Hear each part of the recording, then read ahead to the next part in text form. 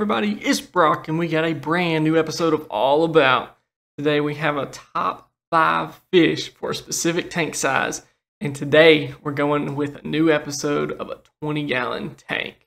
Now, this is one special to me because this was the very first saltwater tank I ever started out with, was a 20 gallon Marineland tank. What a trip this tank was. Sadly, I could not find a picture back in 2014 of it, but I did find some pictures of the first two fish I had in the tank. A typical 20 gallon tank is 24 inches in length, 12 inches in width, and about 16 inches in height. This can vary by the shape of tank you get. Some can be more square, giving it a larger width. Others can be more rectangle, giving it a longer length, or some even funkier shapes you'll see out there. You want to have a good hang on the back filter. Those penguins from Marinelands were always my go-to. They always got the job done. Get you a little heater for the winter that's graded for that size of a tank and even a small power head for flow. Throw in a sand bed about one to two inches deep. Get a mixture of dry live rock. You always want to make sure to put at least some live rock in the tank because bacteria on it is going to help cycle that tank and it's also going to help spread that beneficial bacteria to the dry rock, eventually turning it into live rock itself.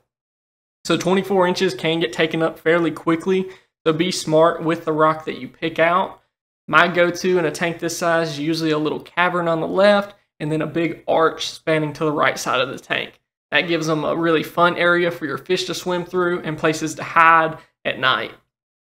If you do eventually want to get into turning it into a reef, there's a lot of good options out there. Just make sure the par levels of the lights are going to meet what kind of corals you want to get. Fluvals have some that I've seen, Current USA, AI Primes, ReefBrites, all really good choices to go with. Alright, you got a little lost there in the setup. So, what is my top five fish that I'd recommend in a 20 gallon saltwater tank? At number one, we got to give it to the Ocellaris clownfish. This was the very first fish I ever got whenever I joined the hobby, and boy, did I love them. One thing I do wish is I would have gotten a pair instead, just because he looked so lonely in there at the beginning. The clownfish are captive bred, which means you're getting a fish that is used to thriving in the aquarium setting and usually they are much hardier and quicker to eat food from you. This is going to alleviate so many headaches at the beginning of learning all there is to know in this hobby. And they won't break the bank, usually only costing about $30 for the basic Ocellaris clownfish. Now these clownfish can host anemones, but just remember with them being captive bred, sometimes they won't. Your best chance that I've seen and always had experience with was putting them with bulb anemones. So if you have rose bulbs, green bulbs, it just seems like they always went to those. They're not going to be too big, usually maxing out around three inches. They can be territorial at times depending on where they tend to swim at or if they have hosted a coral.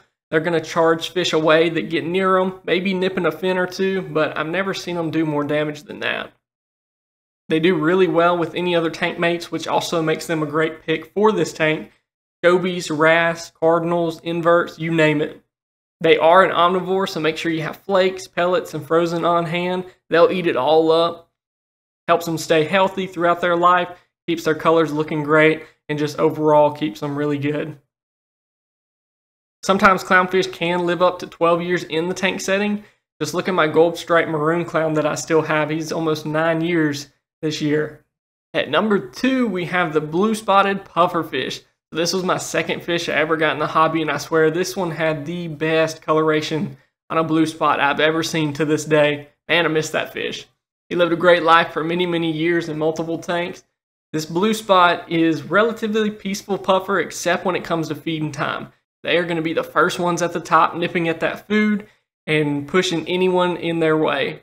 Aggression wise, though, I never really ran into any issues. The worst was my yellow tang actually chasing him around in the 55 gallon reef that I had. They only grow to be about 4 inches by adulthood and usually can get them for around 30 bucks. I also love putting a puffer in the tank just because it catches everyone's eye and everyone's going to always ask, does he ever puff up? He definitely will if he does get frightened. He'll look like a little bouncy ball in the tank and eventually will shrink back down. Mine, I swear, every morning the lights came on, he would come out of his hiding hole, puff up, and then would just go about his day. Now they will camouflage themselves. They'll look very pale. A lot of their color will go away, and they can even shrink their belly to fit in tight crevices at night to hide. So don't be afraid when the lights come on and he doesn't look too good. Give him about an hour and all that color will come back. Puffers are going to be very energetic around the tank. They scavenge for food, nipping around the rocks and sand bed, and always just running and having a good time. One thing to keep in mind with puffers like this one is they have ever-growing teeth, so they need to chew on things that wear those teeth down. Feeding frozen shrimp and clams on a half shell are usually the best to keep grinding on those teeth throughout the week. When catching puffers or transferring them to another tank, be sure to catch them in a cup. It can be very dangerous lifting them out into the open air and having them puff up. At number three, it's not a fish, but it's actually my very first invert I ever had. It was a pair of fire shrimp. This was some footage back from my 55 gallon reef, and man, these shrimps were on fire. They were so active and always out and about in front of the tank. People used to ask me how I got mine to come out so often, but honestly, it was just their personality. These and cleaner shrimp are a great invert for beginners because they really can take care of themselves. You do not have to take any additional precautions. The most important thing is acclimating them slowly into the tank and keeping your water levels on point. Inverts, especially crustaceans like these, are very fragile to salinity changes, so in case your water is not the same as what it is in the bag, you want to do a slow drip acclimation so they get used to it. I usually say however long you're going to acclimate your fish, double it for them. The fire shrimp is going to scavenge all day and all night for leftover food, detritus, and even algae. These were $30, you know, seven years ago in the video, but today you'll usually see them double that or more. The fire shrimp will molt every one to three months and usually will molt soon after being added to the new aquarium. The worst part of firefish is their molt is still solid red, so you always get scared in the morning when you see it stuck to the power head thinking it's actually them. Fire shrimp are not going to be aggressive, shy if we're really talking about it. They can be with other shrimp too and not pose a problem. Not only will they clean up your tank, but they'll even jump onto your other fish and clean off any pests that might be on them. So they're truly a jack of all trades and just one really fun one to have in a small tank like this that you'll be able to look at every day. At number four, we got to give it to this unique bond between a shrimp and a goby. It's the flagtail shrimp goby paired with the Randall's pistol shrimp. So this goby shares a symbiotic relationship with the pistol shrimp, leading to the goby standing guard where the pistol shrimp will build a burrow for them to both live in together. You will not see the shrimp as often as the goby unless it's digging like you see in the video. The goby can be seen at times retrieving food, bringing it back to the cave to share. It's just really cool to see. It's a really fun one to put in the 20 gallon because they're easy to spot and you can get up close to look at their relationship. Putting them in a really large tank can sometimes end up with them creating a burrow somewhere in the tank that you can't even see. The two are very easy to take care of. With gobies, it's always good to keep sinking pellet food for them. That way, if they are super shy, when first introduced into the tank, you can drop those pellets in there near the burrow and they'll be able to easily retrieve those throughout the day. The other thing is having a glass lid or something covering the top because they are the worst about jumping out when frightened. Only costing about $30 for the goby and about the same for the shrimp, you won't break the bank with this pair. They are both extremely peaceful. The goby may bulk up at a fish that comes near the burrow, but nothing further than that. Sometimes it's best to have one species of goby in the tank just because it's going to help keep aggression down and their need to be territorial towards each other it can just become a headache.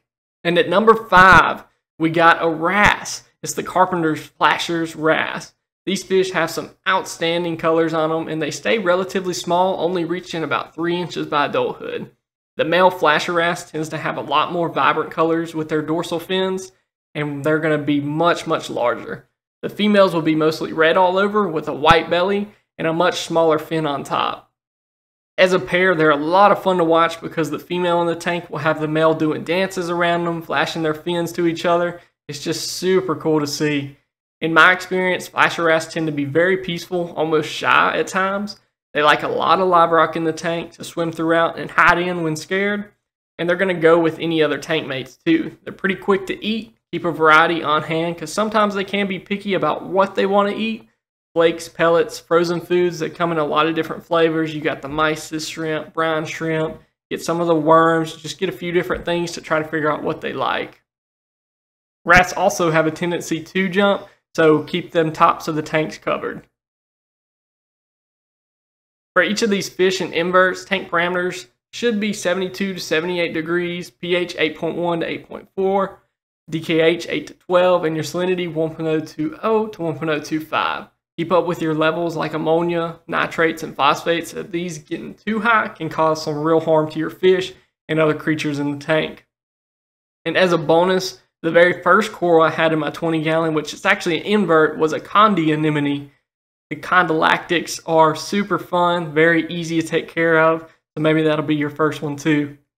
And that's going to do it for today's episode of All About. Don't forget to like and subscribe to see future videos in the series. If there are other fish you've had in your 20 gallon, be sure to leave it down below. Other viewers might want to check out that one and get it in their tank. And as always, be safe, stay kind, and I'll see y'all later.